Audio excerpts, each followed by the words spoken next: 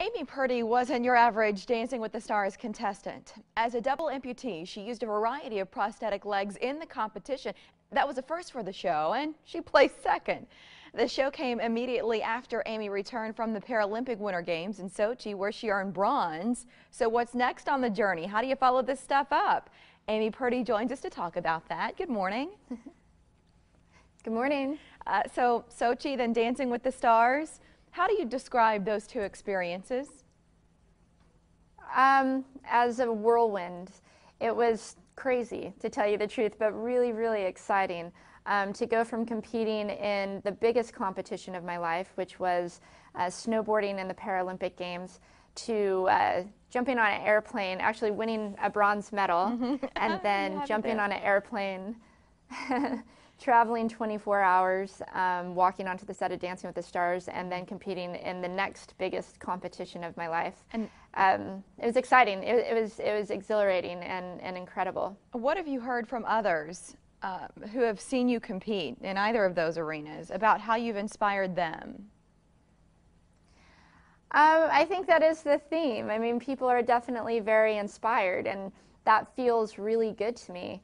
Uh, but the thing that's interesting for me is I never, I never really set out to inspire other people. I don't wake up in the morning and say, ah, today I'm going to inspire the world. That's what I'm doing. Mm. I simply like to do the things that inspire me, that make my heart beat, and oh. that I'm passionate about.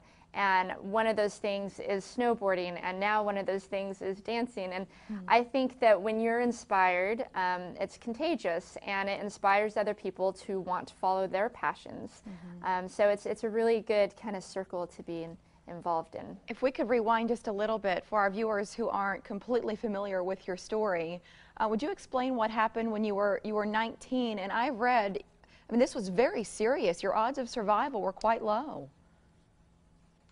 Yeah, so I was 19 years old. I was a snowboarder, and I felt sick one day and ended up in the hospital for three months. Um, found out that I had contracted something called bacterial meningitis. We have no idea how I got it.